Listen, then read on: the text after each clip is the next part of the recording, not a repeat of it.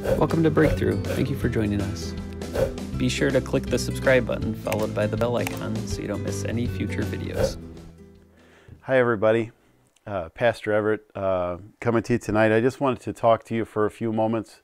Uh, I, I, think about a really a, a great uh, scripture verse. I think most of us would know this verse. Uh, it's found in Hebrews uh, chapter 13, verse 8. And it says, Jesus Christ, the same yesterday and today and forever. Uh, let me just pray with us.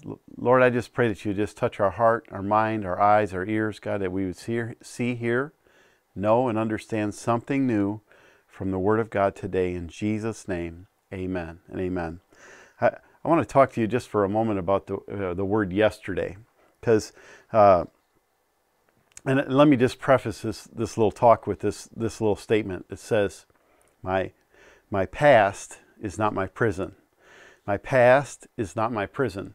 Often, uh, I, I, think everybody, if you live long enough, you're going to have a past. I mean, um, uh, even if you're young, uh, you, you, you may, and you, you're old enough to remember yesterday or last year or last summer, uh, you have a past.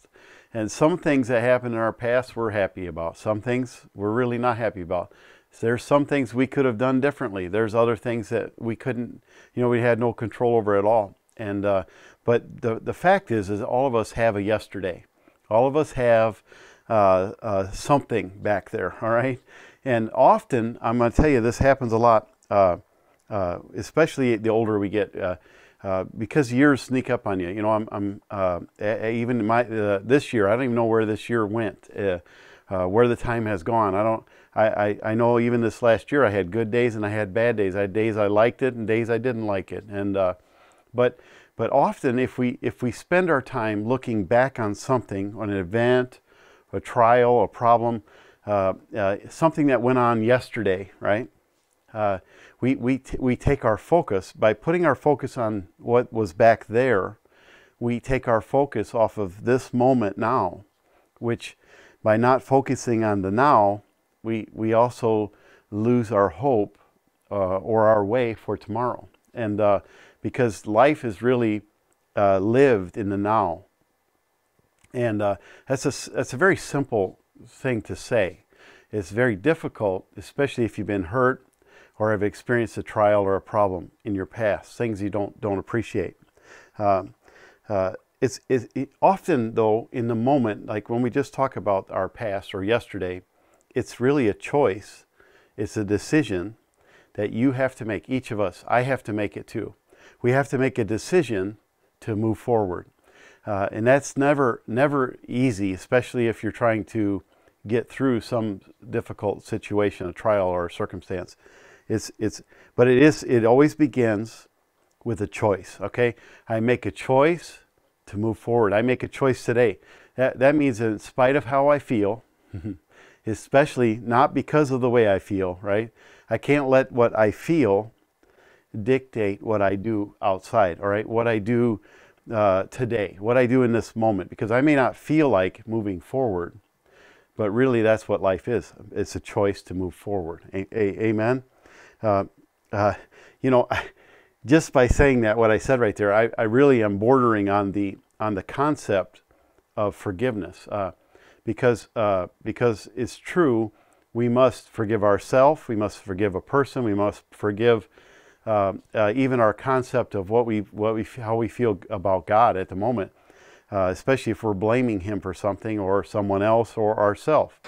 When we start to blame, uh, we, we got to we got to cross the bridge of forgiveness. And I, I'm reminded of a verse in uh, Matthew 5, verse 23 and 24. It says, Therefore, if, if you bring your gift to the altar and remembers that your brother has aught against thee, Leave your gift there at the altar and go your way and be reconciled to your brother.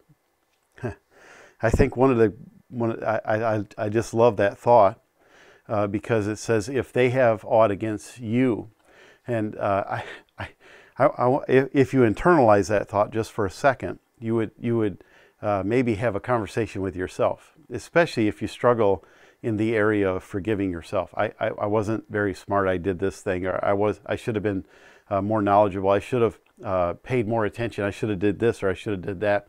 And so even if you just internalize that thought for a moment and say to yourself, I'm going to forgive me, I'm going to forgive myself, maybe look in the mirror and say it, I'm going to forgive you and I'm going to move forward, okay? And uh, I'm going to move forward with a hope for a better tomorrow. Amen? And uh, so easy for the, I don't know if you've ever uh, understood this a little bit or thought about it, but the, the, the offender uh, has, has an easier time with this than the offended one, right? So, so even if you're offended with yourself, you find yourself struggling with forgiveness, struggling to move forward. But the offender has an easier time than the offended one. Uh, I, I, I think, uh, but the only way, really, okay, let's just leave that sit there for a second, but the only real way to experience forgiveness in our life really is to root out the offense, right? To root that out of us and take out the root. It, it's painful sometimes to even consider that but we must forgive the offense so that we can move forward, or we'll always be offended. Okay, and uh, and then you base every decision from then from going forward on the offense, on the on the the the the feeling, right? The the disappointment, the the the lack of something. Okay, and so my decisions going forward uh, will always be be tainted or or or, or, marred by the offense okay? But we must root out, pull out, so that we can then heal. Amen?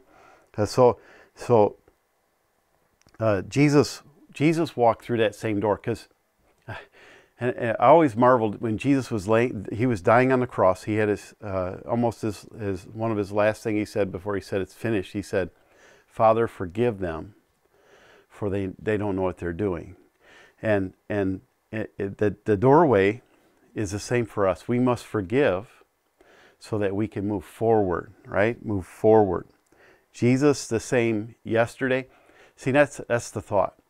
Jesus was the same yesterday. Like when when when I was struggling with this problem in my life, Jesus was the same. Right? That he's still the same now and he's going to be the same forever. So my my my my escape my hope, my future is still found in Jesus, right? I still need Jesus. Amen? He's the same, He hasn't changed. Uh, uh, so, so, so we, we can see that whenever we look at Jesus, we don't need to be afraid or to be fearful because he is the same, right? He's the rock. He's the, the anchor point in our life. He's the, the, the, the love of God manifest in the flesh for all of the world. He, he, he's the rock. So, so I don't need to be afraid, right? I don't need to be afraid. I, there's a verse in Malachi uh, 3 6. Actually, we, we quote uh, Malachi uh, 3.10 all the time when we start to talk about tithing or giving and how we rob God. But, but I like this verse uh, 3, verse 6. It says, For I am the Lord. He, he just and he puts a comma there because he is the Lord. He's the, the Lord of all. He's the Lord of my life. He's the Lord of my circumstance. He's the Lord of my everything, right? I, I, I set him above my feelings. I set him above my circumstance. I set him a, a, a, above what I feel I'm missing in my life. I set him up above that. I set him up as Lord, right? That means I, I serve him. I, I walk with him, right? I know that he is with me. He, he's still here today. He says, For I am the Lord. And then it says something really powerful. I change not, it says. I am the Lord. I change not. Isn't that powerful? What a, what a great promise we have. God isn't going to change, right? He's not going to change ever, right? And He's still extending His arms right now of love for you and I. He still extends today, right? And it, uh, uh, it says, it says, I am the Lord, I change not. Therefore, ye sons of Jacob are, Jacob are not consumed. And he's speaking about the children of Israel, how they're not consumed. It's in it, and that, that, that moves even unto us today, right? We are, we are not consumed because he's the Lord. you see, we have to really understand really the, the, the concept of love because love extends itself over and over to, to even us that don't really want to receive it. Those of us that are holding back, right? Those of us that are holding back because we're hurt. Hmm. So, so these are words that we can live by. I change not.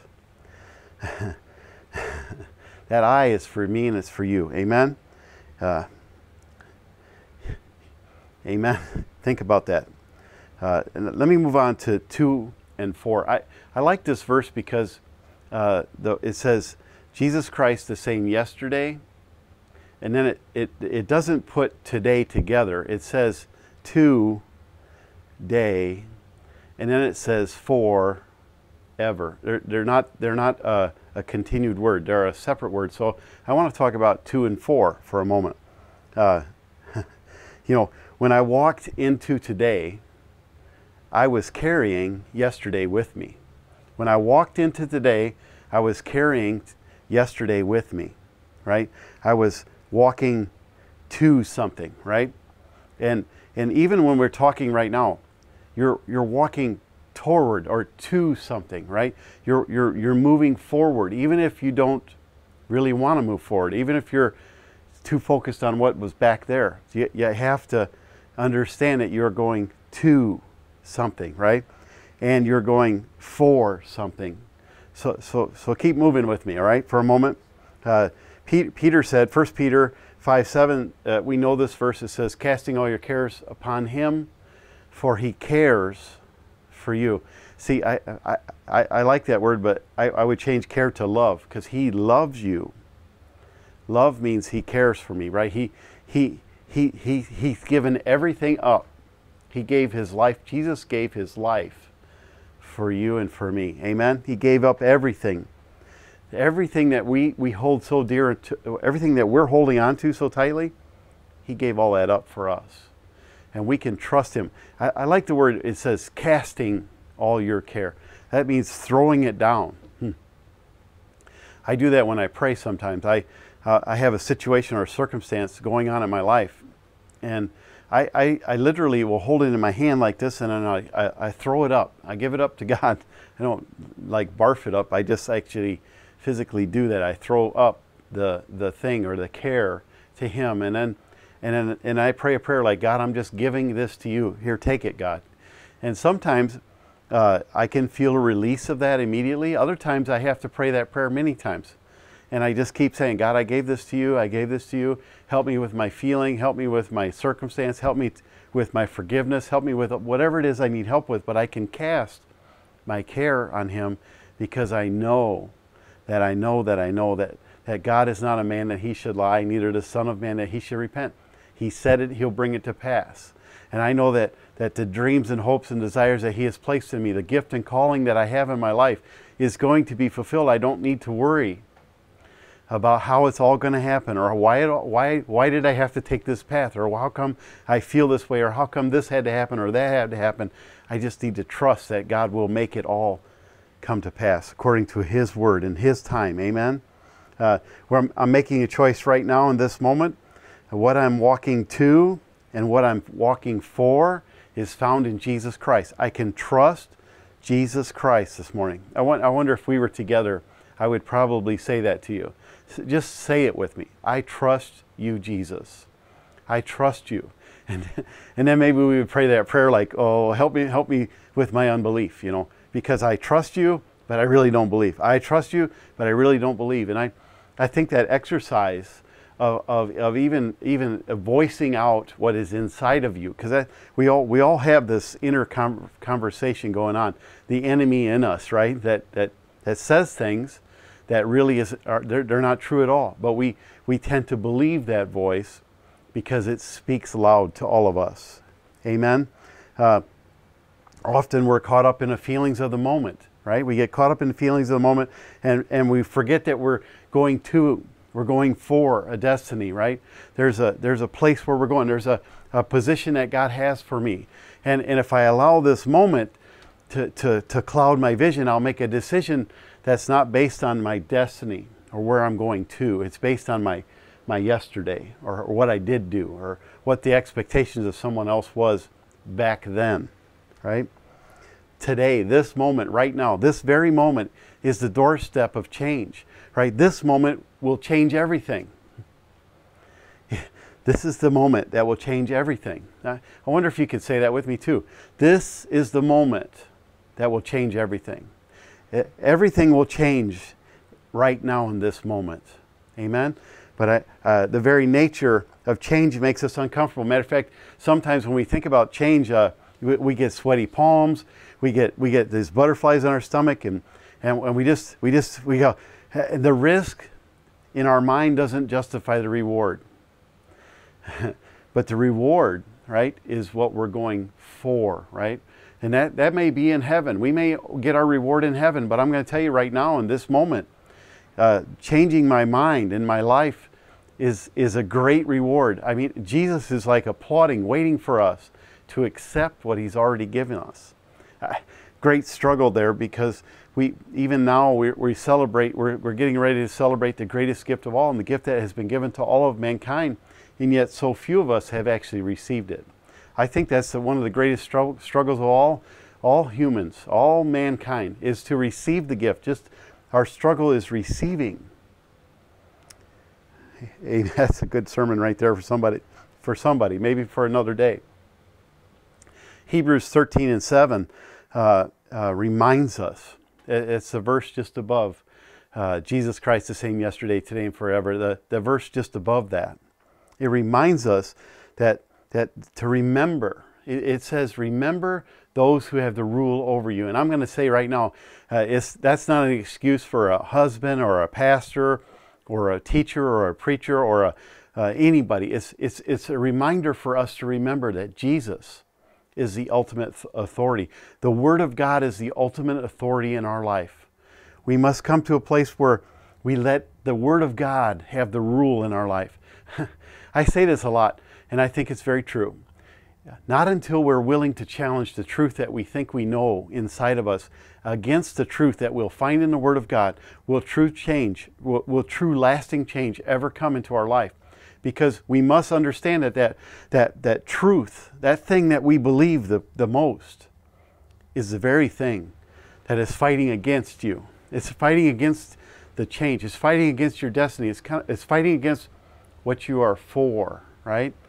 Your legacy, the legacy. Amen. See, Jesus, Jesus came, he came, he came to heal the brokenhearted. Did, I, I, I want to say this. Hurt people will continue to hurt people. Jesus came to make you whole. and sometimes, Jesus being the great physician, we don't like to go to the doctor. We really don't. We don't want to be whole. We just want everything to continue on so that we can continue on, so that, so that we can make it to another day. I'll go to sleep tonight, I'll wake up tomorrow, and everything will be the same. it won't get better unless we go to the doctor, right? I, I, Jesus came, uh, we, we read this in, in uh, uh, Luke 4, verse 18 and 19. He says, He came to uh, preach the gospel to the poor. And, and I don't think that necessarily means just monetarily poor. I think it means those of us that need knowledge. We, we got to come to a place where we, uh, we recognize that we need the Word. We need Jesus. Jesus is the Word made flesh. We need that Word. I'm poor. I don't understand. I lack wisdom. So we, we draw from the Word the things that He has for us. And then it says, and then it goes on to say to, to heal the brokenhearted. So, so, so Jesus, the purpose of Christ is to heal our heart. Is to take our heart that is broken, or maybe it's been broken, and He wants to heal. He wants healing to happen in our life, right? Uh, and then He says uh, to, to, to set the captives free, to, to, to set us free. The things that are holding us back, the things that are keeping us captive. Maybe it's just possible that the thing, the very thing that is holding you back today is not the thing that's holding you back. It's you. It's me. It, maybe Jesus came to set us free, to open the prison doors and say, you can walk out anytime. Come on. And then it says to, to, to open or recovering of sight to the blind. I, I, love this verse, and I, I talked about it last Sunday. It says, it says, Eye hath not seen, ear hath not heard, neither has it entered into the heart of man the things that God has in store for those that love him.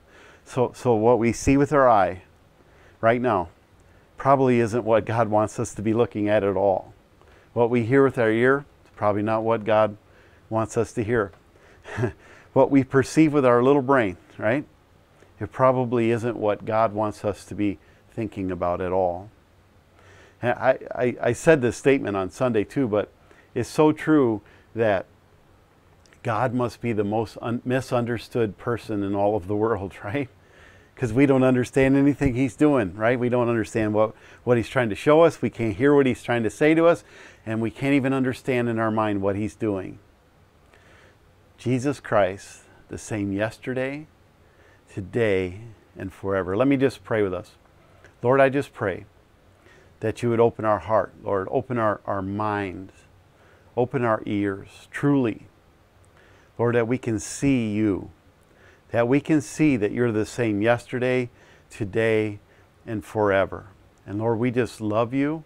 We ask that you forgive us of our sins and help us to forgive others. Lord, help us to walk forward, Lord, in, in this moment right now and do and be who you want us to be in this world. In Jesus' name, amen and amen. Let me, let me just uh, uh, ask you a favor. If you could go to mybreakthrough.online, go to the website, that's our homepage there. Go there and go down to the bottom, and you can subscribe to our YouTube channel, and you can like us on Facebook. Uh, we, have, we have a lot of great things going on. Uh, if, if you would consider partnering with us as a ministry, you can text to give right there. Uh, we, we are really excited about what God is doing. There's, there's a prayer wall. There's lots of stuff on the website. I encourage you to, to browse around and look. Uh, you, can, you can check out almost every one of our messages is up online. Uh, and we're just really excited about what God is doing, and we look forward to really connecting with you.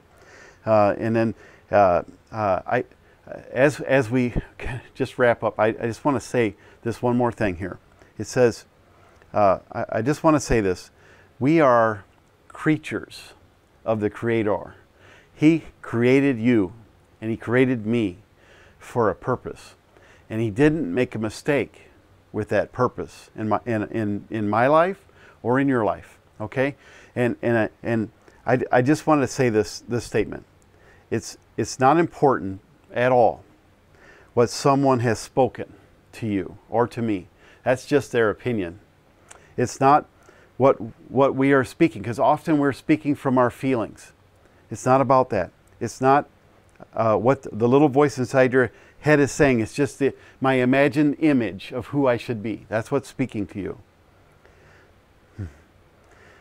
But it's what He says.